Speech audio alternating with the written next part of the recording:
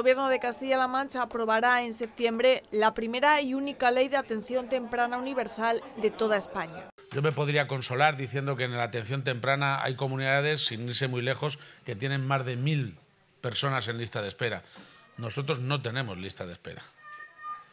Es más, en el primer Consejo de Gobierno, en el primer Consejo de Gobierno de septiembre vamos a aprobar la ley que irá ya definitivamente a las Cortes, la única ley, la primera ley, ahora cómo deben estar las cosas en la política española, que antes tardaban menos en imitarnos las buenas leyes, ahora tardan mucho más. Es el problema que tienen de la M30 para adentro.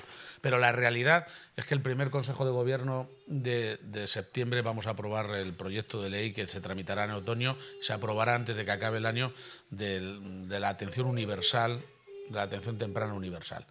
Somos la primera, lamento que seamos la única que lo eleva a categoría de, ley, pero además es una ley con un pozo de credibilidad tremendo.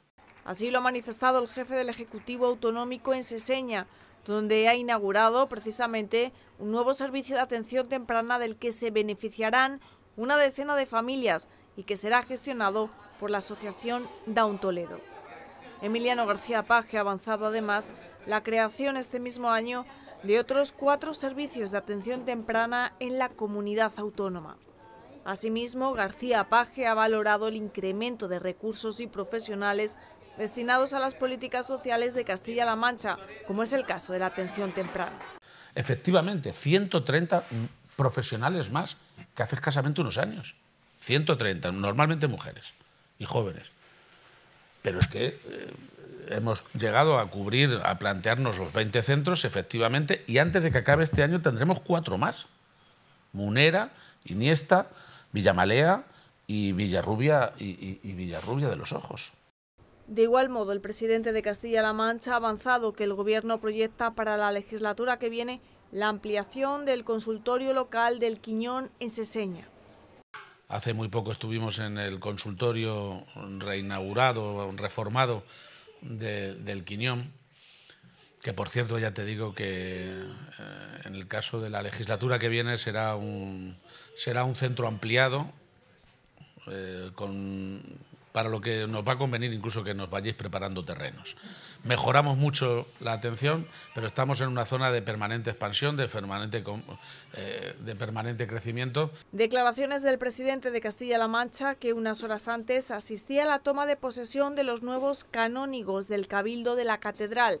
Allí, en declaraciones a los medios, ha mostrado su deseo de que en el debate sobre el Estado de la Nación que se celebra a partir del 12 de julio en el Congreso de los Diputados, se ponga fin a la polaridad de la política en España.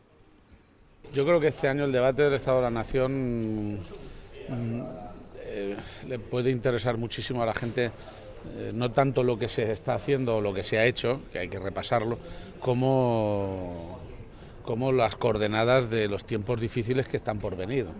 Eh, que pueden ser difíciles, no necesariamente malos, pero difíciles en todo caso, porque es evidente que, hay nubes en el escenario y hay tormentas ¿no? Eh, por venir.